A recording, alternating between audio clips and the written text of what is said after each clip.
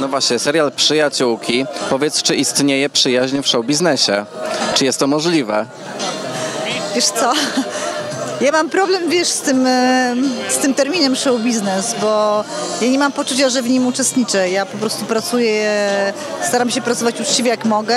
E, Mam jakieś fajne propozycje ja tak naprawdę mm, e, nie wiem, czy ja uczestniczę w tym show biznesie. Ja jestem tak zajętą osobą, że wiesz, że tutaj chodzę, no przyszłam dzisiaj wiadomo, no bo e, jest to jak moje święto mojego serialu, też mojego e, programu The Brain.